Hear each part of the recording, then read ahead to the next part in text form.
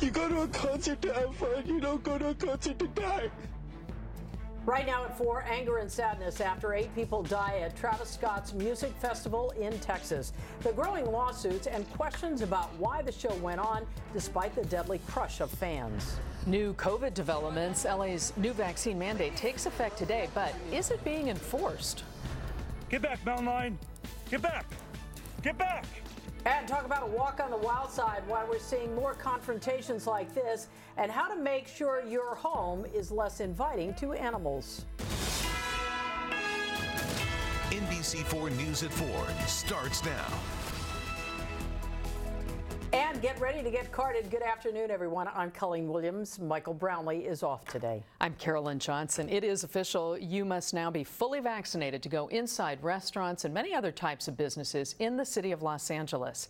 NBC4's Patrick Healy live in Baldwin Hills for us with a progress report on how this first day of the new mandate is working. Patrick. Indeed, uh, Carolyn and Colleen, Hotville chicken behind us. That's among the places where you're going to need to be fully vaccinated. Many more in the city of LA. A dramatic expansion of vaccine requirement beyond what the county of Los Angeles is requiring, but a soft rollout.